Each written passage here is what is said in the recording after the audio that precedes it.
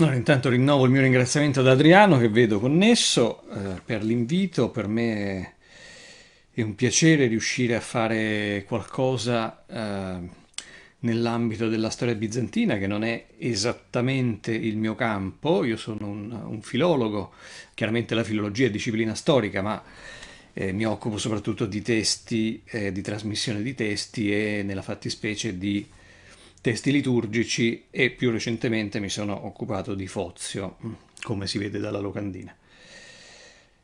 Um, è stata un'occasione per me di fare quest'anno qualche cosa di bizantino perché quest'anno l'università mi ha fatto eh, insegnare ecdotica, quindi mm, sì, cose più connesse alla filologia ma non connesse al mondo bizantino. Ah, ciao Lorenzo.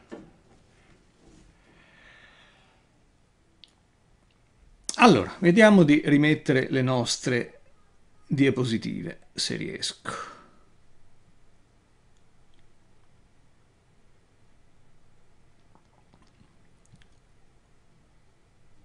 Ecco qua.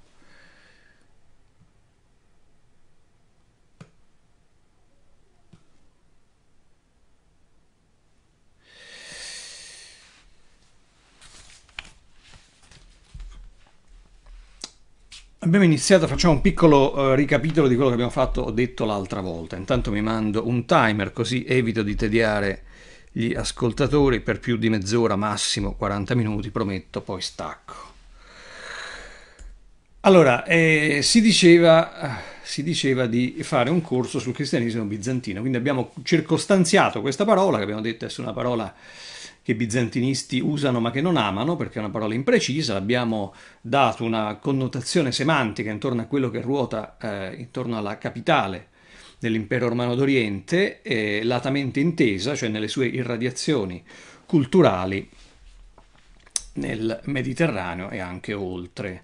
E quindi abbiamo anche eh, delimitato uno spettro cronologico che eh, va dalla nascita alla morte di Costantinopoli. Abbiamo brevemente parlato uh, del, del, del, IV e del V secolo, non perché non siano importanti, ma perché sono mediamente percepiti dal, dalle persone, anche probabilmente dai membri di questo gruppo, come una, una sorta di appendice eh, del, della, della, storia romana. In effetti è a tutti gli effetti storia romana.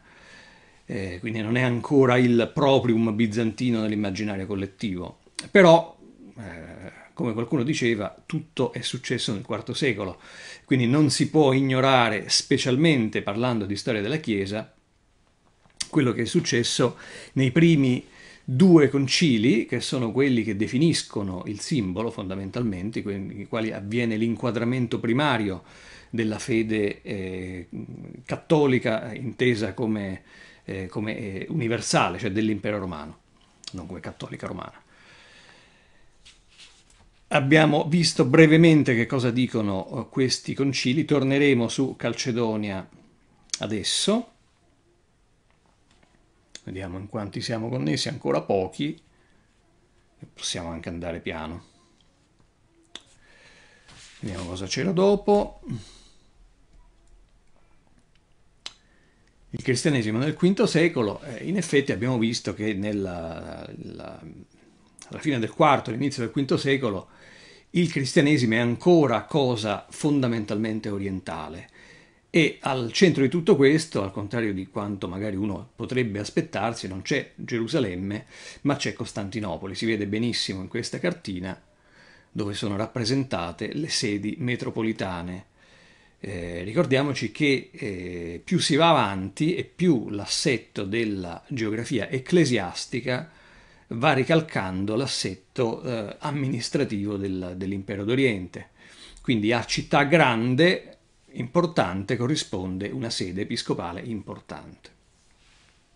E chiaramente la sede patriarcale è nella capitale, cioè Costantinopoli. La nuova Roma, nuova Roma perché come Roma ha un senato e ha un imperatore.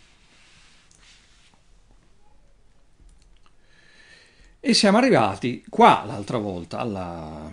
parlando un pochino della sistemazione che cerca di fare Giustiniano con l'accesso al suo regno e la riconquista di eh, parte eh, della, della, parte occidentale dell'impero che era caduta in mani barbariche, una ehm, impresa lunga, difficile, dai risvolti alterni, condotta eh, con disinvoltura eh, sotto certi aspetti, eh, questo anche perché gli imperatori si fidavano dei loro generali fino a un certo punto, perché sappiamo benissimo che un, un generale di successo era in grado eh, di capovolgere eh, le sorti dell'impero e di farsi proclamare se stesso imperatore, quindi gli imperatori giocavano, ma questo un po' per tutta la, la vita dell'impero romano, dai severi in poi, diciamo, a non dare troppo potere ai generali, perché sapevano che il generale poteva essere eh, il, il, prossimo imperatore a loro scapito.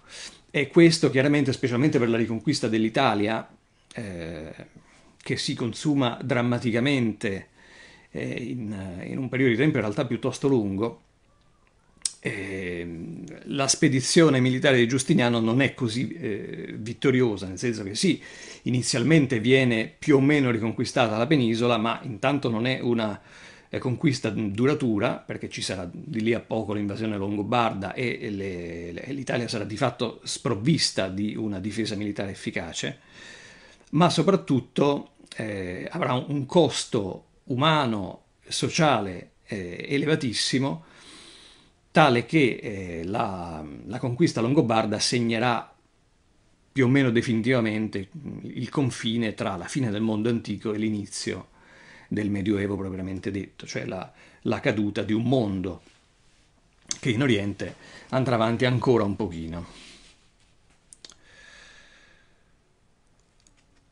Allora, parliamo, eravamo arrivati alla politica ecclesiastica di Giustiniano, quindi alla pervasività della legislazione civile all'interno di quella ecclesiastica e viceversa, eh, con la eh, legislazione, la canonistica prodotta dai, dai concili, che viene assunta positivamente dalla legislazione imperiale, che si fa promotrice della sua implementazione nelle, nei territori sottomessi all'impero. Quindi questo avviene soprattutto nelle novelle, quindi nella parte ultima del codice giustinaneo risistemato.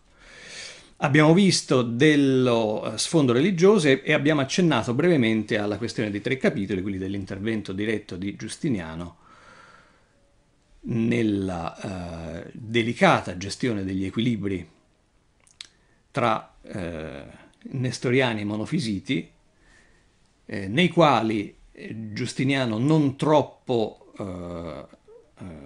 non troppo velatamente si eh, dispiega verso i monofisiti, no, non che fosse un monofisita, ma sicuramente era più verso i monofisiti che non verso i nestoriani, e, e per eh, in qualche modo dimostrare questa tendenza condanna tre autori nestoriani o criptonestoriani del passato morti da tempo in questi tre capitoli. Approfondiamo un secondo il contesto. Allora, qua c'è la mia faccia sopra, ma qua dice polemiche cristologiche del VI secolo. Perché? Perché eh, non si può capire la politica di Giustiniano e dei suoi successori sebbene non sia chiara la situazione eh, politica e religiosa, perché questo è un drammatico intreccio, nelle, specialmente in alcune province dell'impero, nelle province orientali, nelle province orientali dell'impero orientale, attenzione, quindi parliamo di Siria, Egitto e Armenia soprattutto. E il lettore moderno si potrebbe chiedere perché eh, o come mai le, le, dispute cristologiche appassionassero così la gente tali da determinare sollevazioni di popolo. E, la spiegazione è, è, semplice, non ricordo se era forse Gregorio di Nazianzo che si, si, lamentava che quando andava a comprare il pesce, il pescivendolo gli parlava dell'homoousios, cioè della, della, della consustanzialità, era il, il, il, tema di quel periodo, degli anni 80 del, del IV secolo. Eh, il concetto è che nel, nel, nel IV, V, VI secolo non c'era Grande Fratello, quindi fondamentalmente le persone parlavano di, di, di altro e eh, a Costantinopoli c'era lo stadio, quindi c'erano i blu, i verdi e si scannavano, eh, peraltro proprio sotto Giustiniano ci fu la famosa rivolta della Nicà con migliaia di morti. Eh, ma per il resto le, le, cose di cui si interessava la gente erano anche le, le, dispute religiose, che poi diventavano una vera e propria bandierina politica. Quindi intere intere regioni pardon, si coagulavano intorno a un'idea, non è, è, dato capire fino a quanto la capissero poi gli, gli strati magari più, più, modesti della popolazione, però non, non inganniamoci, la gente parlava di questo fondamentalmente. Eh, quindi sicuramente il, eh, il, il, proprietario della taberna eh, di Antiochia del V secolo sapeva eh, dell'Homo Usios molto più di quanto non sappia il laureato in economia e commercio di oggi, perché erano i temi che stavano sulla bocca di tutti in quel momento. Qua eh, siamo nel VI secolo, quindi le questioni fondamentali trinitarie sono già state risolte in maniera definitiva dal Concilio di Costantinopoli, primo del 381, che aveva definito il simbolo trinitario in maniera abbastanza cristallina, tale da essere capito da tutti. Adesso si trattava di capire nella persona, nella seconda persona della Trinità, come potessero convivere il lato umano e quello divino. Tutto ruota eh, intorno alla comprensione di queste due parole che ho scritto qui sopra in greco, ipostasis e physis, cioè ipostasi e natura. La prima parola è molto interessante perché ha una storia, una, una storia lunga, è una parola che eh, già troviamo consistentemente utilizzata in Aristotele. Ipostasis è letteralmente ciò che sta sotto quindi facciamo un facile calco con il latino, diventa substanzia, sostanza. Ma eh, non è sempre stato così, o meglio, all'inizio della speculazione trinitaria cristiana, tipicamente nel, diciamo, tra la fine del terzo o la metà del terzo e, la, e il IV secolo, l'inizio del IV secolo, ipostasis vuol dire effettivamente viene percepito per lo più come sostanza. E così è capito anche in Occidente, come substanze. Poi che cosa succede? Questa parola ha uno slittamento semantico, cioè si capisce che era funzionale nella, um, per come si stava costruendo la teologia trinitaria in Oriente, eh, denotare con questo lessema non tanto la sostanza, cioè l'essenza, ma ciò che sta sotto il carattere individuale di qualche cosa, cioè ciò che distingue qualche cosa da qualcos'altro. Nella fattispecie si parlava delle persone trinitarie. E quindi ipostasi diventa, diciamo grosso modo, dalla metà, forse anche prima del, del, del IV secolo, in Oriente comincia a denotare quella che noi oggi chiamiamo proprio ipostasi, cioè la, la personalità, chiamiamo così, ciò che distingue eh, la persona del padre da quella del figlio da quella dello spirito e che ne riassume il carattere principale, cioè la paternità, la filiazione e l'aspirazione. Eh, questo processo non è completamente atraumatico, perché in Occidente genererà parecchia confusione. Agostino stesso ammette di non aver benissimo chiara la faccenda. E parliamo di uno che ha scritto una cosa come De Trinitate. Peraltro non senza conseguenze questo misunderstanding di ciò che gli orientali volevano significare a un certo punto con ipostasis.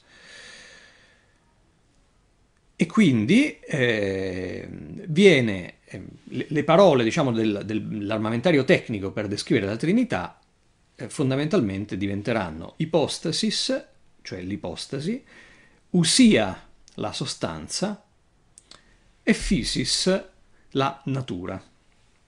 Parliamo chiaramente del problema della natura umana e della natura divina di Cristo. E qua entriamo nelle varie interpretazioni. Il Concilio di Calcedonia eh, celebrato nel 451, aveva proclamato, abbiamo visto, che in Gesù Cristo esistono contemporaneamente le due nature, la natura umana e la natura divina, che convivono in una sola persona, questa famosa unione ipostatica, senza confusione, senza mutamento, senza divisione e senza separazione. Potrebbe essere una, eh, una dichiarazione eh, omnicomprensiva, vedremo che in realtà lasciava ampi margini di interpretazione. È proprio su questi che si sviluppano le polemiche successive perché poi si percorre una linea sottile. Quando due nature si fondono in qualche misura in una sola persona, in una sola ipostasi,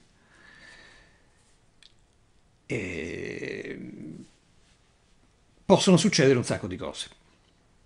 La prima è che una di queste due nature prende il sopravvento ed era la posizione di Eutiche.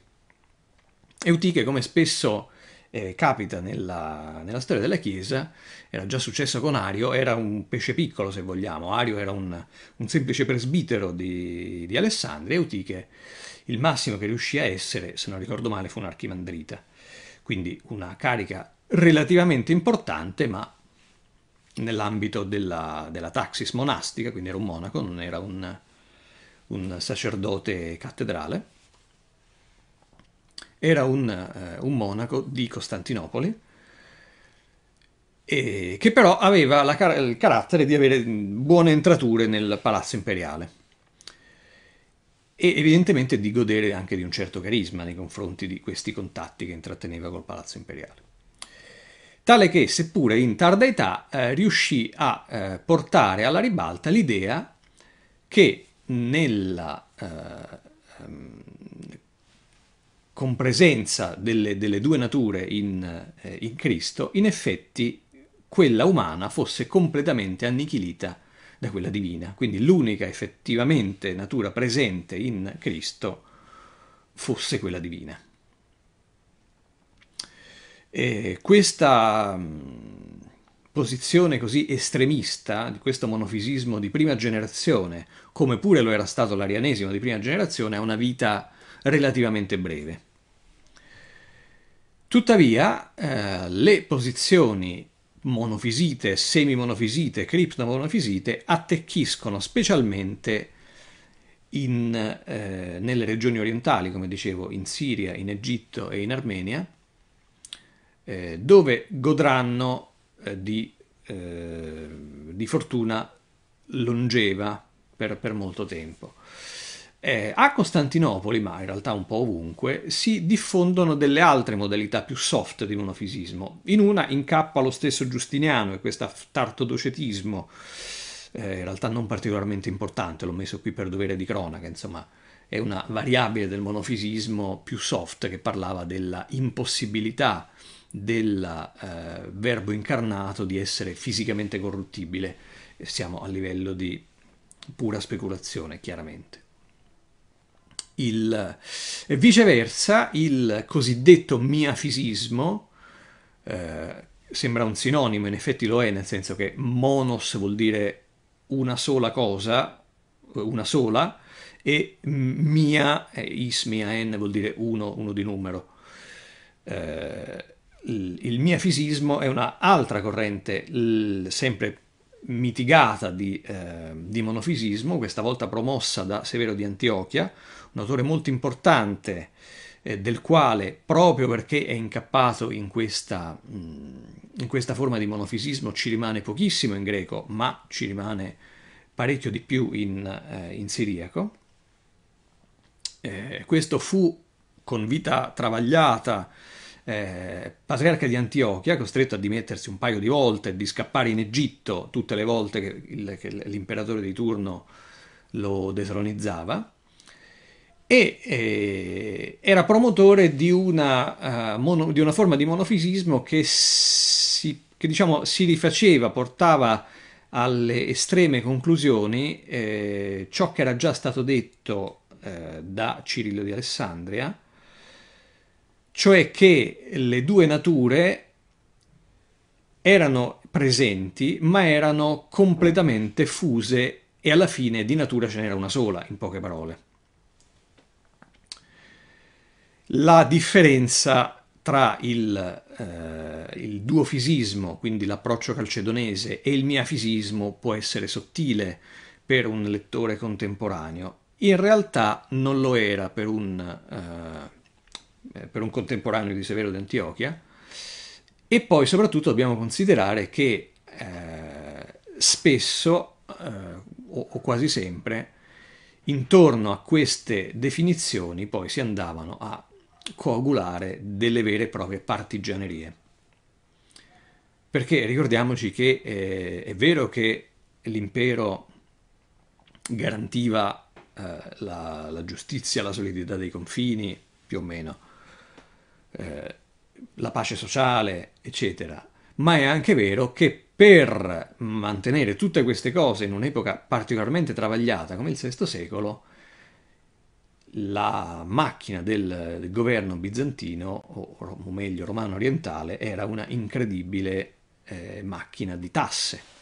Quindi la popolazione era spremuta e eh, le, chiaramente le regioni più ricche, parlo soprattutto del delta del Nilo e, le, e, la, e la regione di Antiochia, avevano più di un motivo per essere eh, non particolarmente felici di essere il principale serbatoio economico della capitale.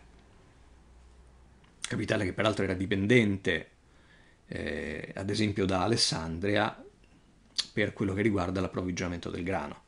Ricordiamoci che i, i, grandi bacini di riserva del grano nell'antichità erano il, il delta del Nilo e la Sicilia. Oh, dall'altro spettro uh, dall'altra parte della scacchiera rispetto ai monofisiti c'erano i nestoriani, come abbiamo visto. Eh, secondo, I nestoriani vedevano invece della preponderanza della natura divina la preponderanza della natura umana. Quindi in Gesù Cristo c'erano effettivamente due nature, ma ognuna di queste nature corrispondeva a una persona. E queste due nature non esistevano contemporaneamente. Quindi il, il Gesù terreno nasce effettivamente come un uomo. Di qui la logica conseguenza di chiamare Maria madre di Cristo e non madre di Dio, ciò che verrà condannato nel concilio di Efeso. E il problema è che queste due nature non potevano con- coabitare, convivere, e quindi eh, necessariamente in Cristo ci doveva essere la separazione di queste due nature con la eh, chiara preponderanza, almeno per quello che riguarda lo, spettro della vita umana di, di Gesù, della natura umana. Quindi questo è il contesto un po' per inquadrare in quali guai si trovava Giustiniano, ma anche chiaramente i suoi successori, cioè quello di dover eh, tenere insieme l'ortodossia calcedoniana duofisita, quando in realtà esistevano ampie sacche centrifughe di nestorianesimo, specialmente nella parte proprio est-est, la, la, la, quella più vicina al confine persiano, per capirci, ma sempre in Siria.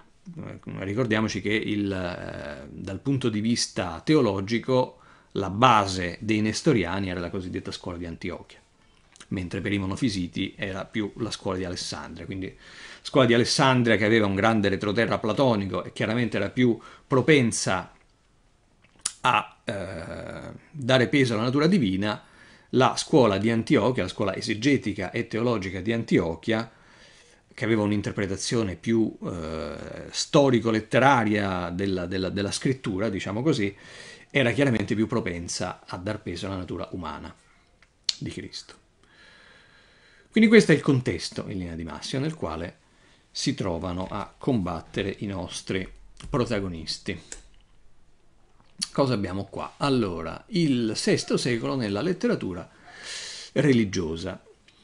Eh, il VI secolo, eh, al contrario del quarto, soprattutto del quarto, quinto, non è un secolo particolarmente ricco di autori religiosi.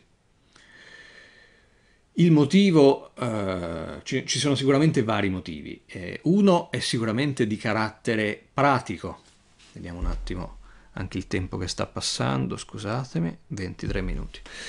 Di carattere pratico, perché? Perché in, nel VI secolo la parte occidentale dell'impero era di fatto perduta e comunque se non era perduta era eh, in disastro, in dissesto dal punto di vista culturale. Se togliamo Boezio e Cassiodoro, eh, in, in, Occidente c'è, un gran poco eh, in quest'epoca. Non che prima rispetto all'Oriente l'Occidente abbia prodotto chissà quanti e chissà quali autori, però c'è stato un Ambrogio, ad esempio, c'è stato un Girolamo, c'è stato un Agostino, eh, quindi un contributo occidentale importante c'è stato. Eh, chiaramente la, la, la grossa parte, l'intelligenza, quella che poi in effetti arriva allo sviluppo del dogma, è fondamentalmente tutto orientale. A maggior ragione nel VI secolo, per le ragioni politiche che abbiamo visto. Allora, ho selezionato eh, tre eh, autori, o, o, comunque tre gruppi, diciamo così, eh, che eh, ritengo essere significativi e esemplificativi di questo secolo. Forse sono anche i più importanti. Il primo è il cosiddetto Corpus Areopagiticum, che prende il nome da Dionigi Areopagita. Dionigi Areopagita è, come spesso capita, un personaggio del tutto secondario del Nuovo Testamento, lo troviamo nel eh, capitolo 17 degli Atti degli Apostoli, eh, dove Paolo tiene il suo famoso discorso all'Areopago, il famoso discorso che si conclude con eh, la, la, la, sufficienza degli suoi auditori che dicono ok, adesso che ci hai parlato della risurrezione, su questo magari ci dirai un'altra volta. Il capitolo si conclude, torna ai, ai versetti 32-34, eh, dicendo che però alcuni degli uditori di Paolo furono convinti e tra questi c'erano eh, appunto Dionigi Areopagita e la diaconessa Febbe forse? Eh, non mi ricordo chi era l'altra, mi, mi sembra una donna. Dionigi Areopagita. Eh, come eh, dicevo accade in altre occasioni, personaggi marginali del Nuovo Testamento, era accaduto a Simon Mago, è accaduto alla Maria di Magdala, diventano eh, un pretesto pseudoepigrafico per dare autorialità a una cosa che non c'entra assolutamente nulla col personaggio. Nella fattispecie parliamo di questo insieme di trattati, trattati filosofico-teologici, diciamo così, che sono un po' al confine tra la filosofia e la teologia, scritti verosimilmente sul finire del V secolo, ma che compaiono citati nella letteratura contemporanea dopo l'anno 528, quindi diciamo composti boh, sul, sul, finire del V e all'inizio del VI, non sappiamo non sappiamo esattamente, ma che avranno una grande importanza nel futuro. Questo corpus, che chiaramente non ha scritto il povero Dionigi Areopagita, ma che è stato attribuito a lui per dare, come in tutta la letteratura apocrifa, per dare eh, autorevolezza alla, al, al, testo, è un eh, trattato quadripartito ho scritto i, i, titoli delle quattro sezioni principali, in coda ci sono dieci epistole. Ognuna di queste sezioni eh, descrive una parte, eh, costituisce una parte del trattato eh, che descrive la visione eh, del, del, cristianesimo di Dionigi o di questo pseudo Dionigi. È una visione estremamente particolare perché alcuni dicono che di cristiano non ha molto, eh, in effetti è un singolarissimo blend, per usare un termine vinicolo, enologico, eh, di neoplatonismo e di cristianesimo, ma cristianesimo molto post-niceno. C'è un cristianesimo che già assume tutto quello che era stato detto nei primi concili, eh, almeno fino a Calcedonia, perché ne assume la terminologia, ma eh, ad esempio la, la terminologia sulla Madre di Dio, quindi assume la terminologia del Concilio di Efeso, la terminologia trinitaria sistematizzata dai primi due eh, concili e poi mh, lessico tecnico relativo alla, appunto alle parole che abbiamo visto, ipostasis, physis, eccetera, che è bagaglio della uh, trattatistica successiva. È così smaccatamente chiaro che non poteva essere un trattato del, di un contemporaneo di Paolo, cioè del primo secolo, che eh, i bizantini, con le virgolette del caso, se ne erano accorti già da tempo, tant'è che nel primo capitolo della biblioteca di Fozio, dedicato per l'appunto a Dionigi Areopagita, eh, e si elencano i motivi per cui difficilmente questo, questo testo poteva essere attribuito a Dionigi. In realtà eh, poi gli autori, i cosiddetti padri della Chiesa, non è che si interessassero moltissimo. Se una cosa era tradizionalmente attribuita a, a Dionigi Areopagita, va bene, di Dionigi Areopagita senza grosse discussioni. Magari eh, persone come Fozio con un po' di più pelo sulla lingua potevano anche permettersi di pensare qualche cosa di diverso, ma poi magari in, eh, quando si trattava di fare esternazioni pubbliche eh, probabilmente avrebbero mantenuto la... Eh, l'attribuzione originale. Comunque, senza entrare in questo discorso che ci porterebbe molto lontano, che cosa è il corpus areopagitico? fondamentalmente è la traduzione del neoplatonismo come era arrivato nelle mani del, del suo estensore, quindi un neoplatonismo che, era, che aveva maturato eh, i, nel, nella, nella, sua nascita da, da Plotino fino a, anche, anche prima, diciamo da, da Filone, dal medio platonismo fino a Proclo, e che viene piegato alle esigenze del cristianesimo. Si è molto discusso del perché questo accada, cioè se era un'operazione per convincere i pagani, cosa non impossibile se consideriamo che la, la, l'Accademia Platonica eh, fino agli inizi del VI secolo continuava a funzionare. Quindi esisteva ancora una sacca, ancorché non eccezionalmente ampia, di intelligenza pagana.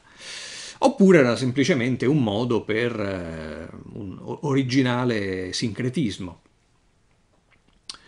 Comunque fondamentalmente sapete come funziona il sistema eh, neoplatonico per, per sommi capi, è un sistema emanazionistico in cui ci sta una, una prima causa, un uno, una causa che al di là dell'essere, che non si può descrivere, che si emana in, eh, con una gerarchia di livelli, laddove al primo posto troviamo per l'appunto l'uno,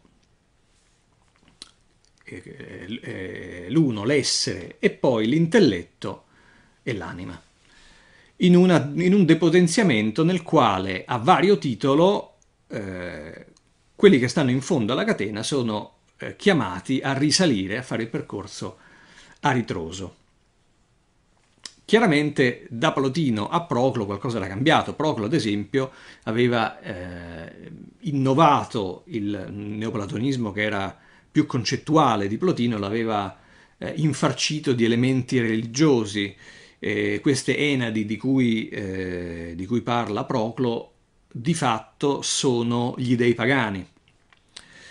Quindi eh, questi tre livelli di depotenziamento dell'uno che è al centro della, della, del mondo neoplatonico eh, si popolano di altre entità che per eh, Proclo sono le Enadi, eh, ma eh, che assumeranno vari nomi. Eh, non penso di andare troppo lontano a dire che i logoi di Massimo il Confessore null'altro sono che un'altra cosa che popola eh, questo universo di esseri intermedi più o meno ipostatizzati che comunque attengono al depotenziamento dell'uno, comunque sono contenuti dentro l'uno, perché l'uno contiene tutto, seppur depotenziandosi. Oh, chiaramente una visione di questo genere è molto lontana dal, pensiamo all'approccio nestoriano, è molto lontana dal cristianesimo che pone interesse e accento sulla sofferenza, sulla croce, sulla risurrezione, tutta questa roba non interessa minimamente a, a, a chi ha un approccio così smaccatamente neoplatonico. Però a noi interessa questa cosa, cioè interessa più che altro per quello che, per come si potrebbe dire, per la eh, Wirkungsgeschichte, per la eh, per dirla con Gadamer, per la storia degli effetti, cioè per gli effetti che questo testo, che sarà così letto nella, nell'antichità, avrà eh, sul mondo bizantino. Fondamentalmente ne, ne, elenco due perché sono i più importanti, adesso senza che entriamo nei dettagli.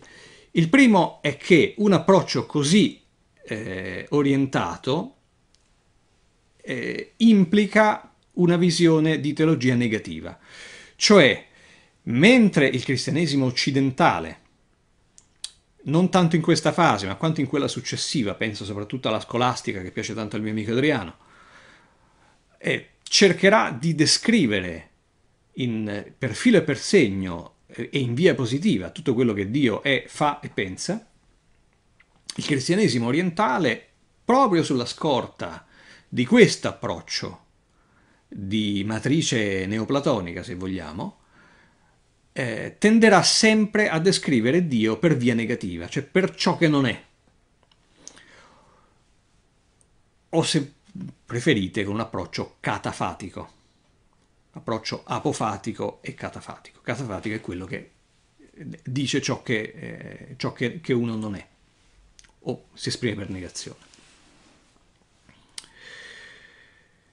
Questo, eh, questa teologia negativa già era presente in Nuce e in Platone, pensiamo al Teteto, al Parmenide, eccetera, ma eh, appare abbastanza chiaramente in Filone e poi eh, via via diventa uh, massima in Plotino e in Procole, così come pari pari viene eh, riutilizzata nel, nel corpus Areopagiticum. Quindi la prima cosa è questa, che in effetti forma una mentalità in generale l'uomo bizantino sarà meno propenso dell'uomo latino a descrivere Dio.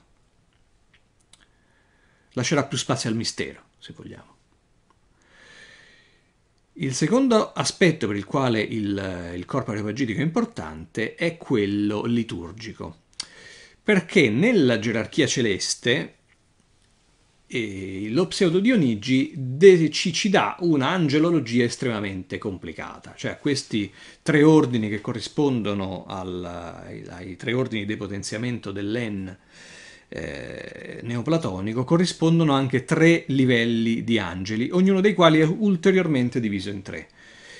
E tutta questa cosmologia, tutte queste gerarchie angeliche eh, descrivono una sorta di rituale permanente che si celebra alla corte di Dio. Che cosa succede? Che questa cosa verrà assunta dalla Chiesa quando si troverà, e ci si trova costantemente, a costruire i suoi testi liturgici. Perché non dobbiamo pensare che la, il testo della liturgia o de, del rito sia un qualche cosa di statico ma proprio in questa fase, nel VI secolo, è in grande fase di accrescimento. Noi dobbiamo immaginare che il, eh, i riti, la liturgia che si poteva celebrare nel, all'inizio del IV secolo fosse una cosa estremamente semplice, fosse probabilmente ridotta all'anafora e poco più. Più si va avanti e più elementi vengono aggiunti, più elementi di complessità vengono aggiunti alla liturgia. E questi elementi tengono conto di questo rituale celeste, quindi cerca, si cerca di riprodurre sia nelle architetture, nella decorazione, nella disposizione degli arredi, nella disposizione delle persone che celebrano della Chiesa, che nella, um, nei testi che vengono utilizzati, di riprodurre nella, sulla terra la uh, liturgia celeste, celebrata dagli angeli incessantemente. E quindi queste due cose rimarranno, questa mentalità eh, di questa teologia negativa di fondo, negativa appunto nel senso di apofatica, e, e, e la pervasività nell'ambito della, della liturgia saranno due tratti che accompagneranno tutta la vita dell'impero bizantino cioè ce li portiamo avanti fino alla caduta di Costantinopoli. Per questo è così importante, non perché sia una lettura esaltante. Eh, io penso che abbiamo fatto abbastanza tardi, in realtà vi volevo leggere delle cose. Vi leggo eh, vi leggo un pezzetto del corpus areopagiticum, lo prendo da... e ritorno alla mia faccia a questo punto. Ecco qua. Lo prendo dalla Principale.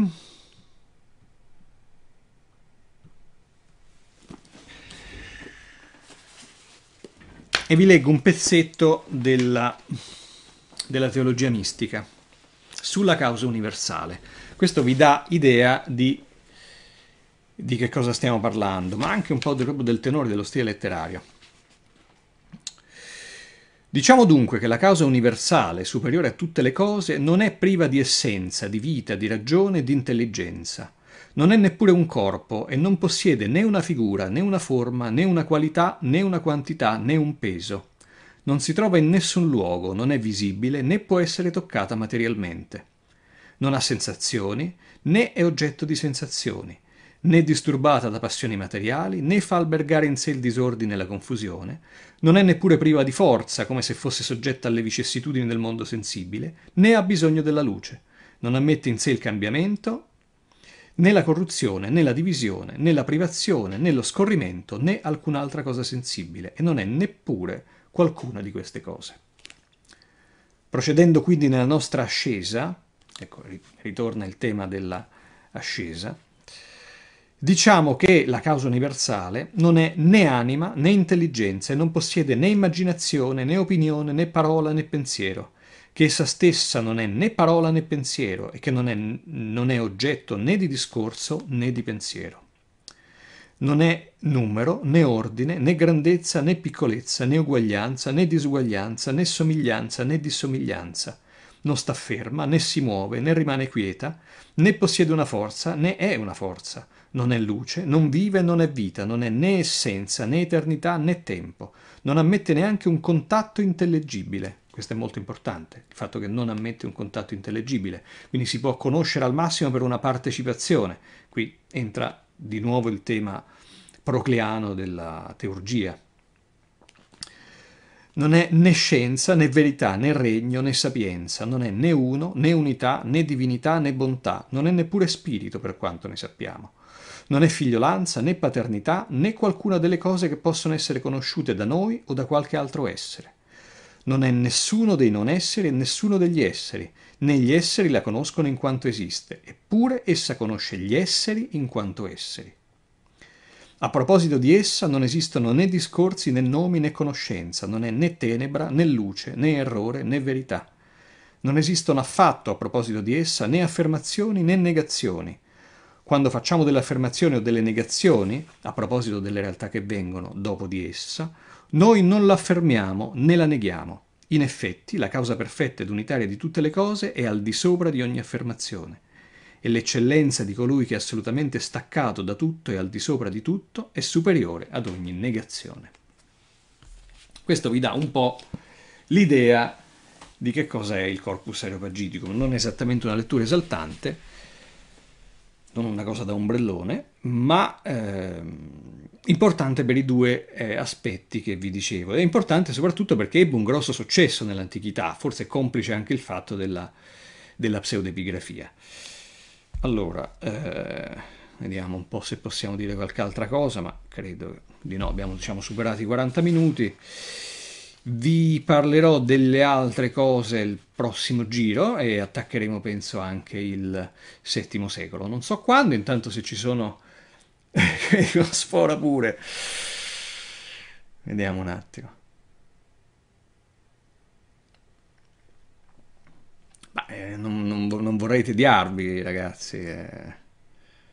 Io se volete vado, vado avanti un pochino di più, ma... Vediamo che cosa abbiamo dopo. Solo una cosa, eh? Se no veramente facciamo notte.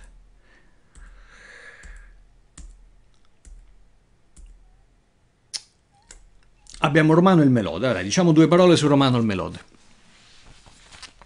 Allora, Romano il Melode è... Perché l'ho messo qua? Perché il capostipite di un genere letterario importantissimo per la cultura bizantina. Eh, quindi è importante sia sul piano letterario, non interessa il piano ecclesiastico. Romano Melode era eh, comunque un monaco. Eh, tutta la letteratura, no, non proprio tutta, ma insomma buona parte della letteratura eh, bizantina è una letteratura religiosa, cioè che nasce in ambienti religiosi ed è destinata anche ad ambienti religiosi. Ma anche quella profana, salvo qualche eccezione, è comunque una letteratura profondamente pervasa di temi religiosi ed è per questo che, che l'ho inserita in questa trattazione. Comunque Romano e Melode a tutti gli effetti è un autore eh, ecclesiastico importantissimo perché è quello che inventa un genere che ancora oggi, se voi partecipate a una liturgia cosiddetta bizantina, una liturgia ortodossa orientale qualunque, trovate. Nell'inografia chiaramente, cioè ciò che si canta eh, in chiesa. E dicevo, Romano il Melode era nato ad Emesa, che è l'attuale Homs in Siria, e, ma poi si trasferisce a Costantinopoli, eh, dove mm, eh, sarà anche nel, nel clero di Santa Sofia. A lui sono attribuiti 85 contachia, condaci, contaci, poi la, la, la, la, terminologia su questo si può, si può discutere, la, normalizzazione in italiano del, del lemma contachion, eh, c'è chi dice contaci, c'è chi dice condaci. 85 sono attribuiti a lui, buona parte di questi sono sicuramente originali. Eh, il condacio è quel genere letterario che lui porta a grande successo, ha una struttura eh, ripetibile, è fatta da una introduzione che si chiama Cuculio, eh, che termina con un ritornello, con un refrain. Poi seguono delle stanze, cioè dei, dei blocchi, degli eh, iki, quindi delle stanze, delle case, che comunque si chiamano stanze dal punto di vista tecnico. E normalmente eh, dopo ogn ognuno di queste stanze si conclude sempre con questo ritornello. Um, e alla fine normalmente c'è una preghiera. Spesso e volentieri, eh, nascosto all'interno della sequenza di questi iki, c'è un acrostico, eh, cioè si prende l'iniziale del, eh, del, esempio dell'inizio di ogni stanza o comunque all'interno del, della composizione, la prima lettera si mettono assieme e questo fa una, una frase dove dentro spesso è nascosto il nome dell'autore. E nella fattispecie di Romano eh, il suo acrostico è del, del, del, povero monaco romano, qualcosa del genere. E quindi eh, anche da lì vediamo la eventuale originalità del eh, Contachion oppure no. E curiosamente il Romano in Melode è famoso in tutta la cristianità eh, orientale per essere l'autore del famosissimo, avrete probabilmente sentito, inno Acatistos alla Madre di Dio. Dico curiosamente perché molto probabilmente non ne è l'autore. Cioè Romano il Melode è uno che ha portato alla massima diffusione, al grandissimo successo del genere della uh, Contachion, ma probabilmente non è l'autore dell'inno alla uh, Madre di Dio. Mm, che cosa volevo dire ulteriormente di, del Contachion? Che eh, non c'entra molto con, la, con diciamo, l'aspetto ecclesiastico, però c'è eh, un, anche qua, vedete, quando trapassa il mondo antico, eh, qua siamo in un'epoca che ancora ha tutti gli effetti antichità, ma qualcosa sta cambiando, anche nella letteratura qualcosa cambia. Nella fattispecie, ve ne sarete forse accorti qualcuno di voi dalla mia pronuncia, che è una pronuncia non erasmiana, ma è una pronuncia più vicina a quella del greco moderno, che cosa succede? Proprio con i contacchia di eh, Romano il Melode, la metrica di queste composizioni passa da quella classica basata sulla durata, sulla lunghezza delle sillabe, a una metrica accentuativa, che è quella che si usa anche oggi nella, nella poesia contemporanea, che è anche un pochino più semplice per le nostre orecchie. Perché? Perché nel mentre la lingua era evoluta, eh, si era ehm, persa la eh, nozione della lunghezza delle, eh, delle vocali e dei dittonghi. Quindi ad esempio la lettera eta, che probabilmente in età eh, arcaica, omerica, forse anche classica, si leggeva e o e, in, eh, sicuramente ai tempi di Romano il melode si leggeva I.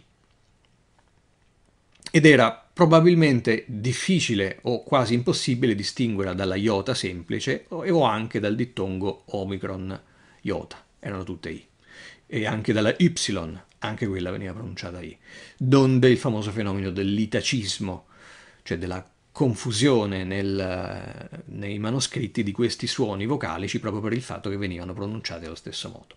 Però senza entrare in questioni filologiche che possono essere appassionanti ma che non riguardano la storia ecclesiastica, uh, vi, vi, leggo un pezzetto di, di Romano il Melode, anzi prima vi leggo un pezzetto della, della Catistos alla Madre di Dio, ve lo leggo in una buona traduzione. Scherzavo, questo l'ho fatto io. Eh, in realtà questo è dal Receptus slavo. A te, prode condottiera vittoriosa, noi tuoi servi, scampati dai mali, dedichiamo canti di ringraziamento, o Madre di Dio. Ma poiché possiedi un'invincibile potenza, liberaci da ogni sciagura affinché noi ti chiamiamo salve, sposa non sposata. Questo salve sposa non sposata è il famoso refrain, mentre questa prima parte che abbiamo letto è, la, è, è l'inizio che precede la, l'eco, ehm, l'ICO 1. Eh, che dice così, vi leggo solo il primo chiaramente, tanto sono tutti uguali, la struttura si ripete. A livello di struttura sono tutti uguali.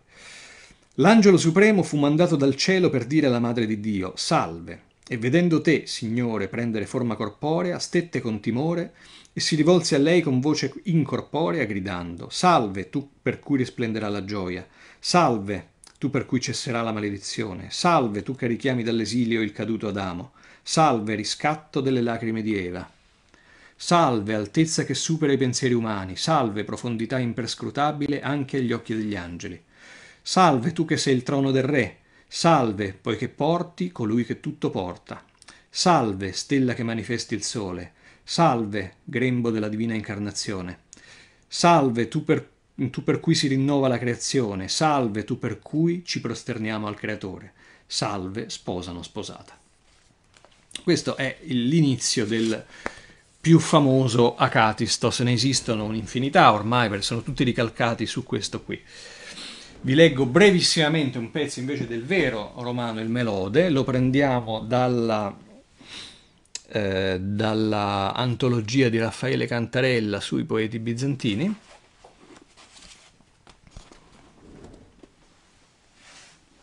E questo è romano.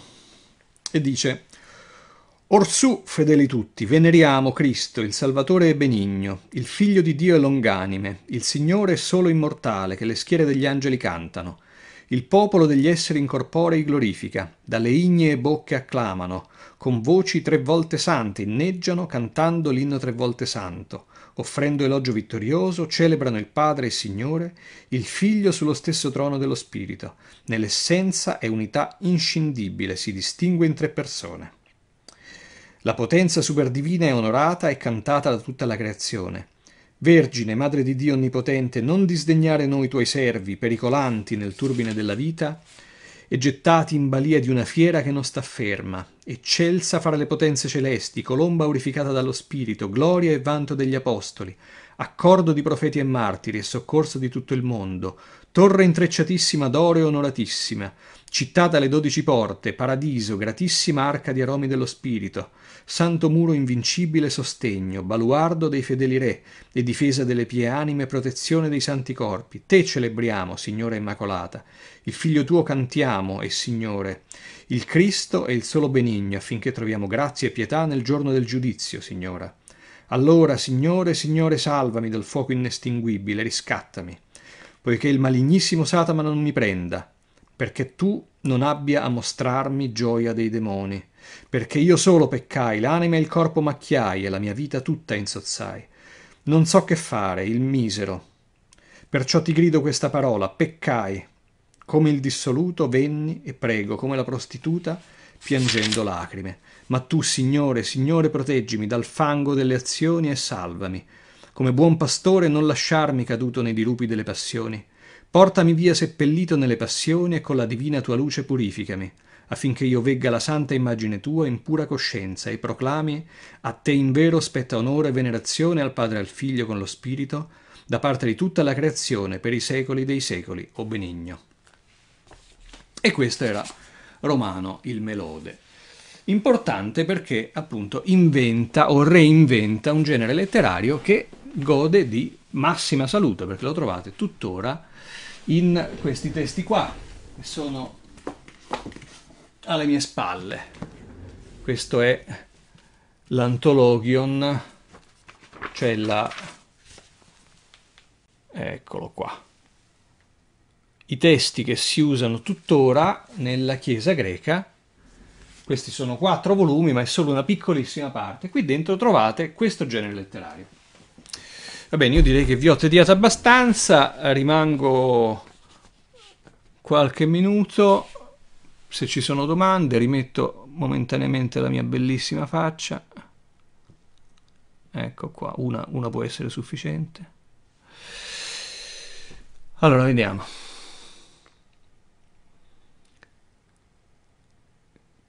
Che ci dici sulla non generazione come elemento distintivo tra le due nature di Cristo. E anche qualcosa su unione e incarnazione. Allora, sulla seconda cosa, in effetti, è, è molto più attuale. Il, il tema dell'unione è un, eh, è un po' la, la, uh, la, chiave che apre tutte le porte. Perché dico attuale?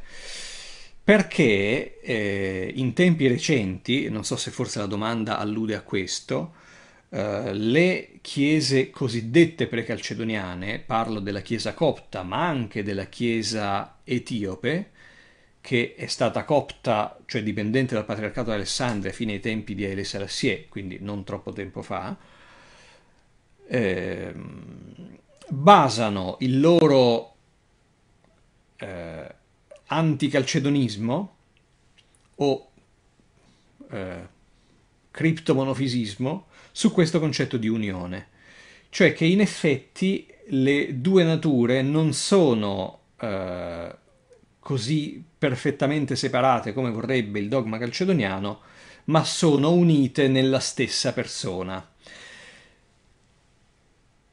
È una distinzione sottile, molto sottile, tant'è che mh, mm, sotto Giovanni Paolo II c'è stata una sorta di intesa che poi a questa è seguita un'altra eh, intesa eh, con invece le, le chiese ortodosse, per le quali esiste una sorta di comunione di fatto con la Chiesa copta, sia da parte della Chiesa cattolica che da parte della Chiesa ortodossa, perché questo concetto di unione è, nella sua ambiguità, abbastanza eh, rispettoso della, um, del, del dogma calcedoniano.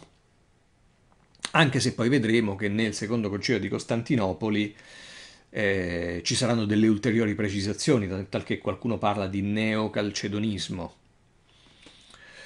Però se ti dovessi dire, qui entriamo in speculazioni teologiche che si svolgono spesso sul filo della terminologia. Sulla non generazione come elemento distintivo tra le due nature di Cristo. Non lo so, non mi viene in mente niente. Eh... Perché il, il, il, il, Gesù non è generato ma è nato e il, e il Logos è generato ab eterno. Sì, può essere una... No, non mi viene in mente nessuno, nessun autore ecclesiastico che... Mh, mm, che utilizza questo argomento quantomeno nel, nella, nell'ambito della polemica sulle due nature, però certamente la generazione come termine tecnico è un processo che avviene fuori dal tempo, cioè il logos è eternamente generato dal Padre. Questo chiaramente non vale per la umanità di Gesù, che invece nasce secondo i criteri dell'umanità quindi non è una generazione, è una, è, una, è, sì, è una, generazione secondo la carne, che non ha nulla a che fare con la generazione intesa come lessico tecnico trinitario. Non ho idea se qualcuno ha utilizzato questa cosa per parlare delle anulature, mm, forse sì, non, non lo so. Considerate anche questa cosa, che io mi occupo specialmente di testi liturgici e di filioque, quindi sì, ho, chiaramente ho letto mm, qualche cosa sui, sui padri della Chiesa, sulle dispute trinitarie e post-trinitarie, ma potrei non essere un super esperto. Va bene, allora io non vedo... Ah no, ci sono 12 commenti, vediamo un po' se ci sono altre cose. Un secondo solo. Non so perché ne riesco a vedere solo 4 di commenti.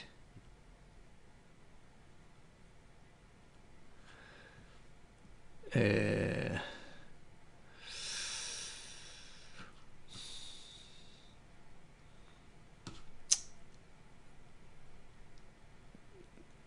Adesso ce ne sono 13, ma io sempre 4 ne vedo. Vabbè, eh, niente, diciamo che vi, eventualmente vi rispondo offline appena chiudo che riuscirò a vedere anche gli altri. Va bene, ci riaggiorniamo alla prossima, non vi so dire quando potrà essere. Stiamo andando molto lentamente, adesso magari mi direte voi se questo approccio è troppo introduttivo, se è troppo tecnico, se va bene. Eh, chiaramente di questo passo facciamo un secolo per volta a voglia lezioni di, di storia del cristianesimo. Comunque, insomma, come volete voi. Ci aggiorniamo. Un saluto a tutti e arrivederci.